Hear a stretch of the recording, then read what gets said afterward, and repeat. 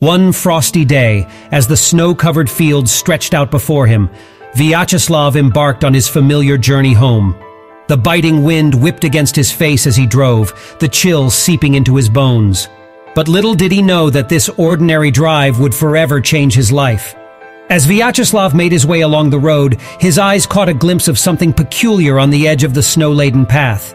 It was a dark spot, barely noticeable against the white backdrop. His intuition nudged him, insisting that he investigate further.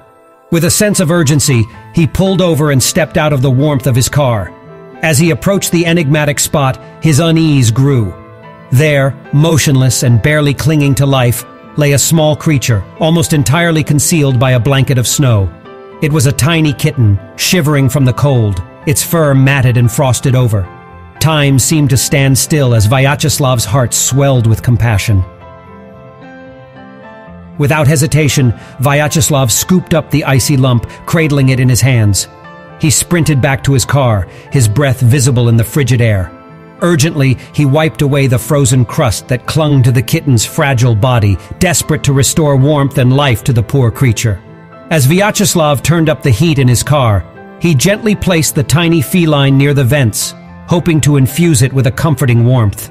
He rummaged through his belongings, searching for anything that could help save the kitten's life. His hands shook with a mix of worry and determination as he placed a soft cloth and a warm water bottle next to the shivering bundle. Minutes felt like hours as Vyacheslav anxiously monitored the kitten's condition. Finally, a faint purr resonated from the tiny being, a sign of gratitude and hope.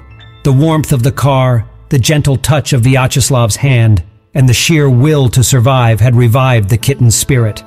Knowing he couldn't leave the kitten alone, Vyacheslav carefully cradled it in his arms and continued the journey home. The kitten nestled against his chest, its heartbeat a reassuring rhythm against his own. They traveled together, two souls destined to cross paths on that frosty day. Back in his cozy apartment, Vyacheslav created a makeshift sanctuary for his newfound companion. He prepared a comfortable bed, stocked up on nourishing food, and showered the kitten with affection. It was as if they were meant to be together, united by fate's unseen hand.